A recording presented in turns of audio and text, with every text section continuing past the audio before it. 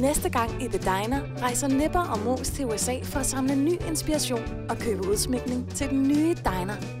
De starter i New York, hvor de besøger en af de mest populære dinere i byen, og herefter kører de videre til Adamstown, som kaldes The Antique Capital, hvor de sætter jagten ind efter de første genstande, som skal bryde den nye diner, inden de sætter kursen videre mod Washington, hvor de skal mødes med den tidligere amerikanske ambassadør i Danmark, Laurie Fulton.